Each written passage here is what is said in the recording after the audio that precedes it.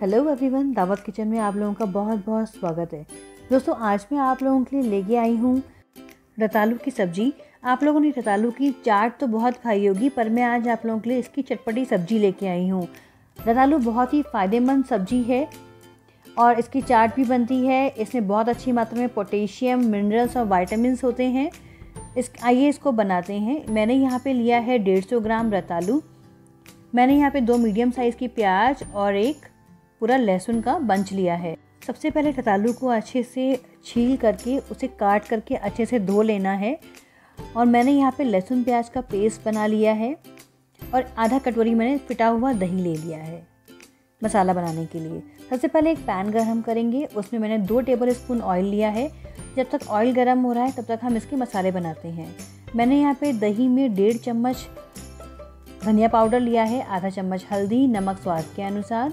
एक चम्मच लाल मिर्च और एक चम्मच जीरा लिया है। इन सबको अच्छे से हमें मिक्स करते हुए फेंट लेना है। इधर हमारा ऑयल भी अच्छे से गर्म हो चुका है।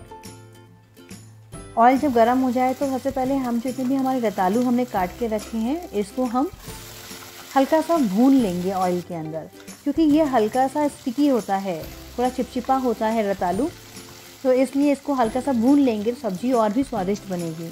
पर ऑयल हमने इसमें दो टेबल स्पून लिया है, उसी को रखेंगे। देखिए, रतालू अच्छे से भून चुके हैं, मैंने बाहर निकाल लिया है। मैंने ऑयल के अंदर डाल दिया है आधा चम्मच अजवाइन, जो डाइजेशन में हेल्प करता है, और लहसुन प्याज का पेस्ट लहसुन और प्याज को अच्छे से हम पका लेंगे, जब तक इसका कलर चेंज ना हो जाए हल्का सा। देखिए, लहसुन प्याज अच्छे से पकने लग गया है, खुशबू बहुत अच्छी आ रही है। अब इसमें मैंने डाल दिया है, मेरा दही में जो मैंने मसाले घोल के रखे थे। और इन सबको हमें अच्छे से पकाना है। मसाला कम से कम दो से तीन मिनट तक अच्छे से पकाना है। जब तक कि इसका कलर चेंज ना हो जाए और ऑयल अच्छे से सेपरेट ना हो जाए मसाले में से। मसाले की कटोरी में जो हल्का सा मसाला रह गया था, उसमें हल्का सा पानी डाल के हम उसको भी इसमें ऐड कर लेंगे। ये देखिए। अब हम इसको तब तक पकाएँगे मसाले को जब तक कि ये जो एक्स्ट्रा वाटर है ये एक्स्ट्रा पानी सूख ना जाए और मसाला अच्छे से पक जाएगा, तब तक हमें इसको भूनना है। देखिए कलर इसका चेंज होने लग गया है ऑयल जो है वो धीरे धीरे सेपरेट होने लग गया है मसाले में से। ये देखिए कितना अच्छा कलर आ गया है। मैंने इस दही, जो मसाले हैं वो दही में इसलिए घोले हैं जनरली हम लोग मसाले डालने के बाद दही को मैं डाल सकती थी ऊपर, पर जब हम लोग ऐसे डालते हैं तो दही फटने के चांसेस होते हैं। और दही के अंदर ही अगर मसालों को घोल लिया जाए तो एक तो ग्रेवी बहुत थिक बनती है और दूसरा स्वाद इसका बढ़ जाता है। अब मैंने जो रतालू है, उन्हें भी मैंने मसाले में डाल दिया है और रतालू को हम इसमें दो मिनट के लिए ऐसे ही भूनेंगे।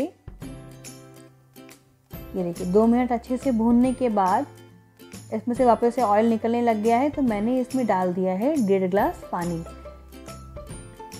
यानी मैंने साढ़े तीन सौ एम पानी डाला है। अब ग्रेवी की मात्रा अपने अनुसार रख सकते हैं। आप चाहे तो ग्रेवी बढ़ा सकते हैं। आप चाहें तो इसको लिड लगा के दो सीटी में पका सकते हैं। मैंने लिड लगा के इसको ढक के रख दिया है। पाँच मिनट मैं इसको पकाऊँगी मीडियम आँच पे और पाँच मिनट पकाऊँगी मैं इसको धीमी आँच पे। दस से पंद्रह मिनट में सब्ज़ी बन के तैयार हो गई है। देखिए, सब्ज़ी बन के बिल्कुल तैयार हो चुकी है। धनिया से मैंने इसको गार्निश कर दिया है। आप चाहें तो इसमें दो सीटी लगा सकते हैं, पहली सीटी तेज़ आँच पर और एक सीटी बाद वाली सीटी आप इसको धीमी आँच पर लगा सकते हैं और सब्ज़ी अच्छे से गल जाएगी। देखिए, यहाँ भी सब्ज़ी अच्छे से पक चुकी है और अब मैं इसको सर्व करूँगी। खुशबू बहुत अच्छी आ रही है सब्ज़ी में से। दोस्तों, इस रेसिपी को ट्राई ज़रूर करिएगा और मुझे कमेंट करके ज़रूर बताइएगा आपको ये रेसिपी कैसी लगी। बहुत ही न्यूट्रिशनल रेसिपी है ये, बहुत ही फ़ायदेमंद रेसिपी है। वाइटामिन बी सिक्स इसमें बहुत अच्छी मात्रा में होता है फाइबर बहुत अच्छी मात्रा में होता है। डाइजेशन में हेल्प करता है रतालू और इसमें बहुत अच्छी मात्रा में पोटेशियम होता है। और मैग्नीशियम और विटामिन सी से ये भरपूर होता है। तो दोस्तों, अगर आपने मेरे चैनल को अब तक तो सब्सक्राइब नहीं करा है तो चैनल को सब्सक्राइब करिए। मेरे संग आप फेसबुक पे भी जुड़ सकते हैं। और मेरी रेसिपी आपको कैसी लगी प्लीज़ मुझे कमेंट करके ज़रूर बताइए। रेसिपी को लाइक शेयर करना मत भूलिएगा।